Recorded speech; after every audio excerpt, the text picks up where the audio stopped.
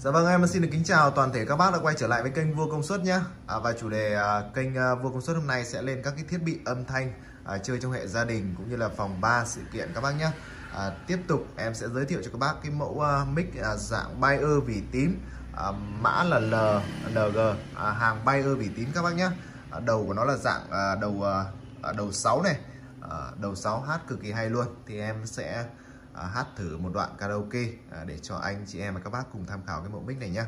Cái mẫu mic này thì ở bên cửa hàng em đang chào bán mức giá là 2 triệu 200 nghìn đồng cho một mẫu mic à, Bayer vỉ tím à, đuôi chuột này các bác nhé à, củ củ côn K8 này. Và cái dòng này thì các cái um, lưới này thì bên cửa hàng sẽ thay lưới mới cho các bác nhé à, dọ mic ạ. Rồi ok các bác em sẽ hát thử một bài karaoke.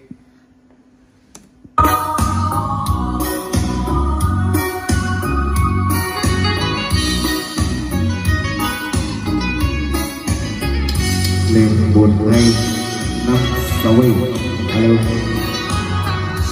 Nhìn chung xa ai còn vẫn bước sông hồ mà nơi đây bông rừng bước tiêu du.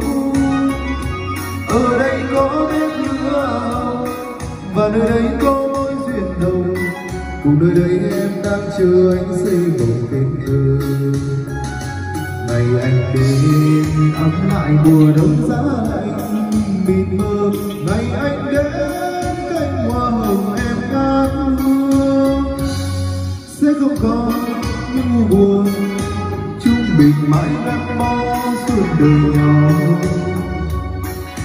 Ngày anh đến với em, gió cũng mát nào sao cùng đàn em trong vừa xuân.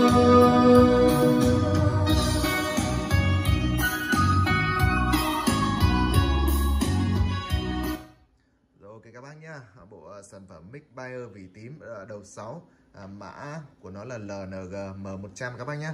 Có giá tại cửa hàng là 2 triệu 200 nghìn đồng cho cái mẫu đẩy mic Bayer này các bác nhá. Mic cực kỳ chất lượng, cực kỳ hay luôn. Em sẽ alo lại thử tiếng mic cho các bác nghe một lần nữa nhá. Lên. Một hai ba bốn năm sáu bảy. Sáu bảy sáu. Alo một hai một bộ mic cao cấp à, có à, có chế độ tự ngắt có gia tốc có tự ngắt các bác nhá. Rồi ok các bác nhé em sẽ báo lại mức giá này 2 triệu 200 nghìn đồng cho bộ đẩy mic Bayer này nhá. À, số điện thoại liên hệ của em đây.